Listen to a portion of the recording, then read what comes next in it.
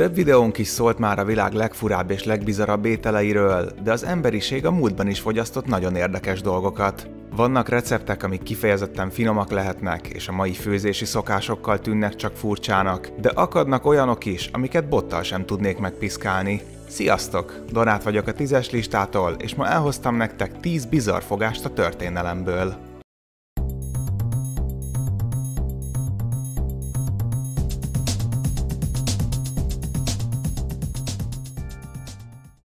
A rómaiak hatalmas kulturális örökséget hoztak létre, ami a birodalom összeomlása után is meghatározta Európa fejlődésének irányát. Rengeteg hasznos találmányt és felfedezést köszönhetünk nekik, mint például a vízvezeték, utak, a beton, az első könyvek, és bizony receptek is maradtak fenn. A világ legrégebbi szakácskönyve az Apicius kézirat, ami feltételezhetően a késő 4. századból származik, de sokkal régebbi receptek is szerepelnek benne. A Dere Cucinaria 400 étel tartalmaz főúri konyhákból és hagyományos háztartásokból egyaránt, köztük pár elég furcsa fogással, legalábbis a 21. századi ételekhez szokva furcsákkal. Ilyenek például a különböző egzotikus madarak és a nyelvükből készült pástétom. Mára főként marha esetleg sertésnyelvből készült ételeket fogyasztunk, de a rómaiak felhasználták papagájok, flamingók és pávák nyelvét is. Sőt, az állatok fejét is rendszeresen szolgálták fel lakomák alkalmával, előétel gyanánt.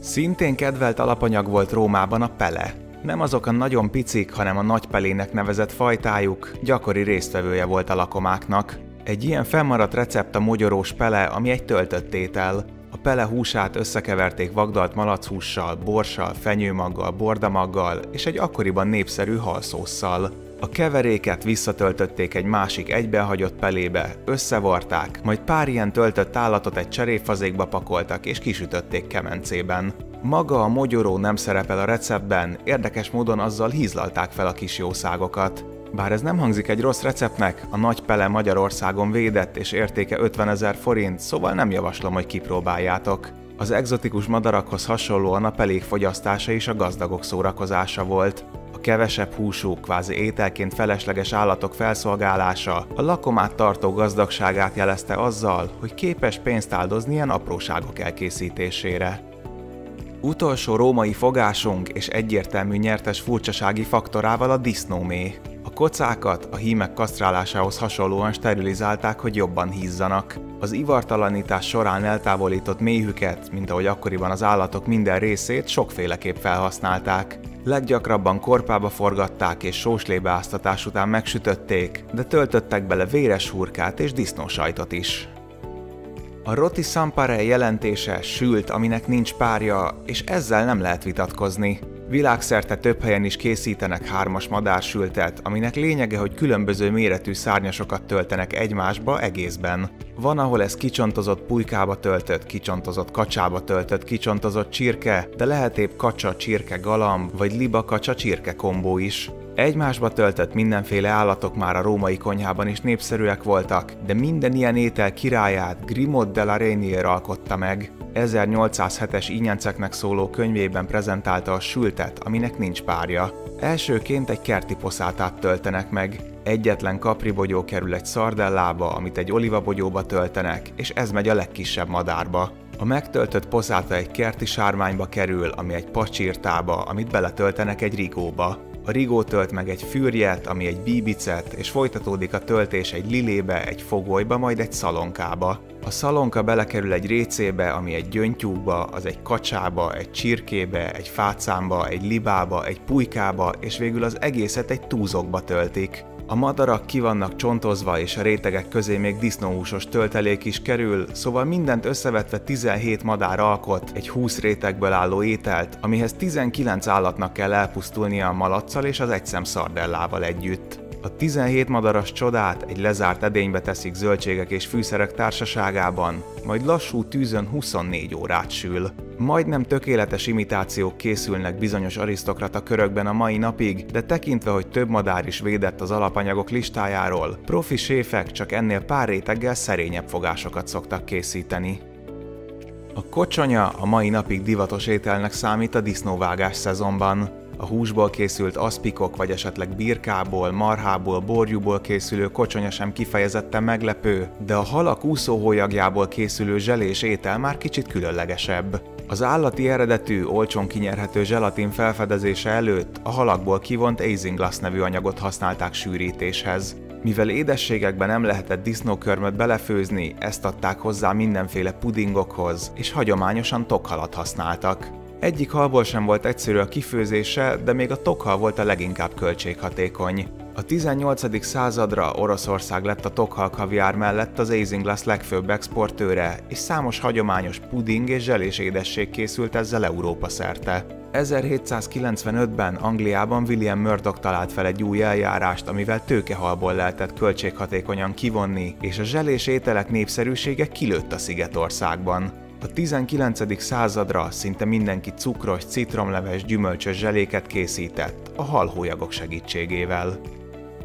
A Kakentris, a középkori konyha egy bizarr fogása, ami egy Frankenstein-féle szörnyre vagy valami mitológiai lényre emlékeztet. Eredete egészen az angol királyság Tudor dinasztiájához nyúlik vissza, amikor is lejegyezték az ételt egy 1425-ös receptgyűjteményben, de még 1985-ben is adtak ki olyan szakácskönyvet, amiben szerepelt. Egy sertés és egy kakas, pontosabban kappan maradványait letisztították, majd félbevágták, és a feleket megcserélve összevarták őket. A két hibridet ezután betöltötték, megkenték őket petrezselymes, gyömbéres, sáfrányos tojássárgájával, és nyárson megsütötték. A kiméra nem csak fogyasztási, hanem látványeleme is volt a Tudorkori banketteknek.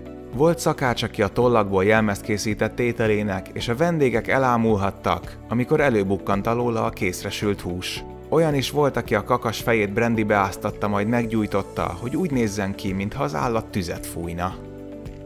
A tojásevés ősibb, mint maga az emberiség.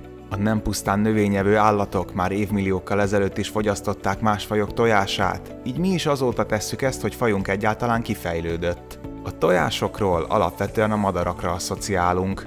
A csirkén túl fogyasztanak kacsa, hattyú, liba, pulyka, de még emu és trusz tojást is világszerte, de a hüllők is így szaporodnak. Teknős tojás sok helyen esznek ma is, de a régmúlt különlegessége volt a fekete iguana tojás, méghozzá a maja civilizációban. A maják étkezésében nem igazán kaptak helyet a húsok. Háziasítottak számos növényt, rengeteg babot ettek és méheik is voltak, de a területen nem élt sok nagy testű emlős, amit rendszeresen fogyaszthattak volna. Így jutottak el a fekete iguánákhoz, amik nagyon kisigényű állatok, sokáig bírják étel és víz nélkül, és aránylag könnyű tartani őket. Puha héjú, proteinben gazdag, csak sárgájából álló tojását nagyon szerették, és a mai rántottának megfelelő módon fogyasztották. A lángos kanadai verzióját hótfaroknak hívják, viszont a középkori Angliában nem csak így becéztek egy ételt, hanem tényleg megették azt. Az 1500-as években beinduló reformációig nyugat-európai étkezési szokásait nagyjából a katolikus egyház határozta meg. Bőjtnapokon nem lehetett húst tenni, és elég sok volt belőlük, így mindenféle halasfogásokat találtak ki. Valahogy egy ponton eljutottak arra a következtetésre, hogy mivel a hód vízi állat szinte halnak minősül, a farka pedig még pikkelyes is, ezért aztán szabad fogyasztani. A Sziklás hegységnél élő amerikai őslakosok szintén fogyasztottak hótfarkat, amit szénen sütve és tűzön grillezve is el lehet készíteni. Addig kell sütni, míg a bőr szenesedni kezd, vagy akár meg is reped, és ezután elérhetővé válik a benne lévő puha, zsíros hús. Egyáltalán nem guztustalan, inkább csak nagyon fura étel a toast szendvics, vagy magyarosabban pirítós szendvics.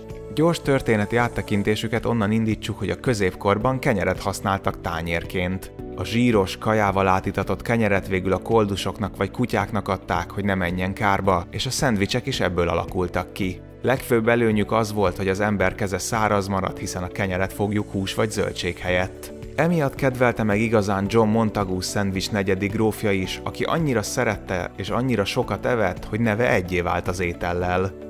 A szendvics megjelenése után rengeteg recept született, és 1861-ben adták ki Mrs. Beaton könyvét a háztartás vezetéséhez, amiben felbukkant a pirítós szendvics receptje. Egyetlen árva megsózott és borsozott vajas pirítós teszünk két sima kenyérszelet közé. Variálhatjuk a szendvicset babbal, tojással, szardíniával vagy répával, de az alapötlet, hogy kenyeret eszünk kenyérrel. A könyv egyébként a világ egyik legtöbbet olvasott receptgyűjteménye, és máig nyomtatásban van. A történelem során számos kultúrában fogyasztottak ámbrát. A cetek által kiválasztott anyagot mágikus erővel ruházták fel az ókorban. A kínaiak például megkövült sárkányának hitték, de az örök élettől kezdve mindenféle fizikai és szellemi megerősödést vártak tőle. A perzsák citromos, a fagylaltok őseként is nevezett sörbette lették.